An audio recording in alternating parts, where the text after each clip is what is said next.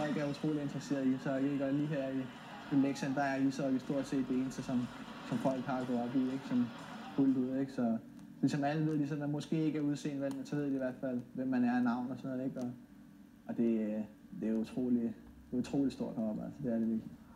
Byen Leksand i de midtsvenske Dalarna er svensk ishockeys vugge. En samling huse, et par supermarkeder, en hovedgade og en befolkning på kun 6.000 sjæle, der lever, ånder, spiser og tænker ishockey 365 dage om året.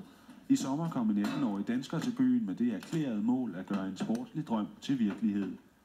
Morten Gren gik direkte fra Rungsted Gymnasium med studentereksamen i baglommen til en professionel tilværelse i Leksand, 750 km fra familie, kæreste og venner i Rungsted.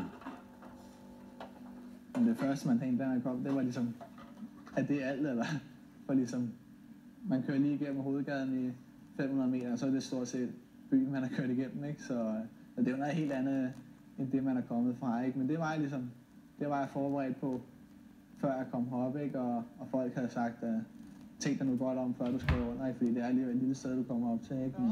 Men jeg trives utrolig godt heroppe, og jeg har ikke noget imod, at, at det ikke er så stort det. Ja, jeg tog, det, jeg tog en promenade ned øh, på Nordland her. Både sportsligt og socialt er det første halve år gået over forventning for Morten Gren, eller Gren, som han kalder sig, i sit nye hjemland.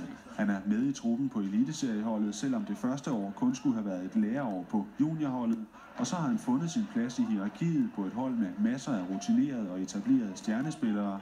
Han er populær i klubben på grund af sit smilende sind og seriøse indstilling til sporten, og så har han i øvrigt på bare 6 måneder lært sig klingende svensk. Jo, tack. Och ha det så bra. Jobbar du då i USA eller? Nej, jag var bara där. Var kompis. Ja, ja. Man er ikke den, der råber højt noget, vel? Og når man sidder i omklædningsrummet, er man heller ikke den, der, der råber højt og, og fører sig frem på, på slap lige med. Men man tager ligesom stille og roligt i starten, ikke? Og, og lærer sin, sin plads, ikke? Og så, så tager man det stille og roligt. Ikke? Han griner jo hele tiden og er en sjov fyr, så han er klar det godt nok socialt, synes jeg. Det er det, der er vigtigst, ikke? For det, det er svært at flytte så langt væk hjemmefra, og det kan jeg selv huske, for jeg flyttede herop, så det er det, der er det sværeste. Det er ikke det sportslige, det tror jeg ikke.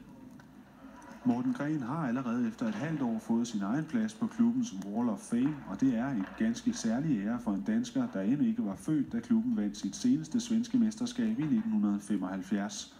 Leksand er ikke nogen almindelig klub, og slet ikke for en dansker. Den er svensk ishockeys hjerte med et hav af pokaler, og den klub, der længst tid af alle har spillet i den bedste række. En klub, der oser af traditioner og atmosfære.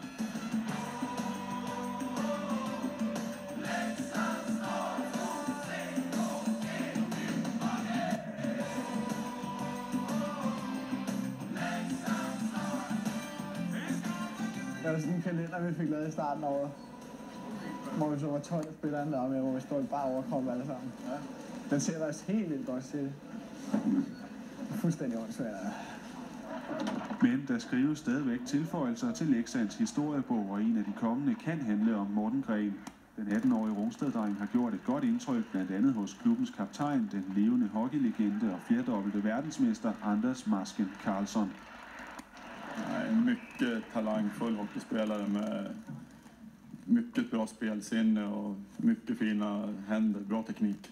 Han, han är alltid spelbar. Han är alltid öppen för passningar. Också när han får pucken så har han alltid en lösning eh, vad han ska göra. Han är konstruktiv med pucken. En af de få danskere, der har haft den succes i svensk ishockey, Morten Gren leder efter, er motorbakken Jesper Dus. Han ved lidt om, hvad det kræver at realisere sin drøm i Sverige. Først og fremmest vil jeg sige, at han skal være tålmodig, ikke? og han skal arbejde hårdt. Ikke? Det er jo, han skal vise øh, over for, øh, for Leksand her, at han, øh, han vil være med, og han vil øh, betale den pris, øh, det koster. Er det sandt? Jeg har fået gode tegn fra, fra klubben. Jeg var til, til en snak med sportsmanageren her den anden dag, ikke? og han sagde, at de ville gerne have, at jeg blev heroppe, ikke? og jeg, jeg vil også gerne, gerne blive her. Ikke? Så det alle tegn tyder på, at jeg bliver i hvert fald i dag til. Og i den kommende uge får Morten Gren mulighed for at besøge familien. Han skal nemlig hjem for at spille landskampe for Danmark, og det gælder forsøget på at kvalificere sig til de olympiske lege i Sydney.